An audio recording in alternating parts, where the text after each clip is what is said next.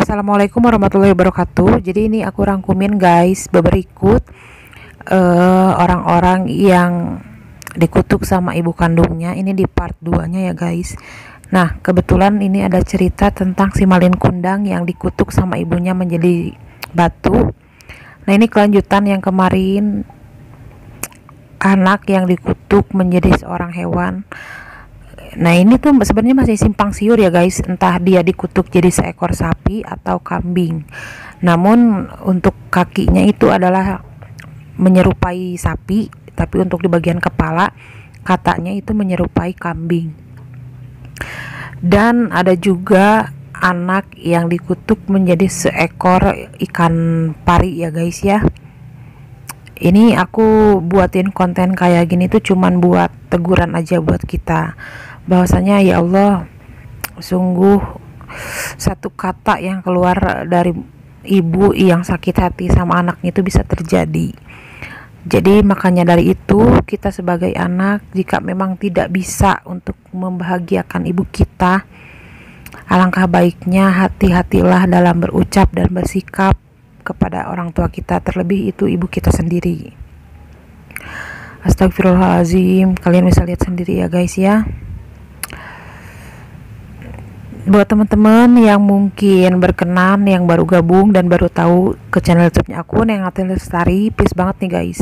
Bantu support supaya channel YouTube-nya aku lebih berkembang lagi dengan cara di like dulu kemudian di subscribe nyalain tombol lonceng atau notifikasinya supaya kalian gak ketinggalan di updatean video aku selanjutnya. Dan di channel ini kalian bakal mendapatkan info-info terbaru kemudian tapi untuk channelnya ini random ya guys ya bisa aku bahas apa pun di channel ini. Dan mudah-mudahan bermanfaat dan sekaligus juga sedikit informasi buat kalian semuanya. Ya intinya aku buat konten itu yang penting bermanfaat aja buat kalian semuanya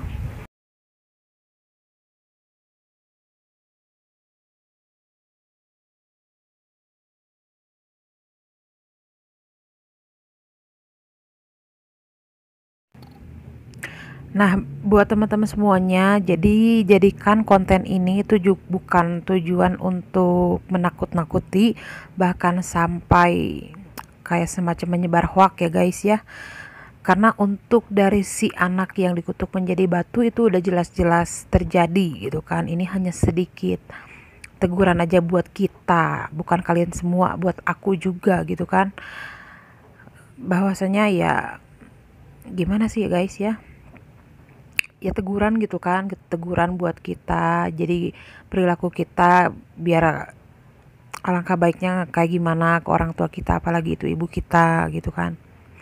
Jadi nggak ada tujuan sama sekali untuk menebar hoak ataupun uh, jadi aliran sesat gitu kan apalagi enggak gitu kan. Jadi tujuan konten ini itu emang sekedar menyebarkan informasi yang memang penting dan kalian bisa sendiri yang ambil positif dan buang negatifnya gitu kan ya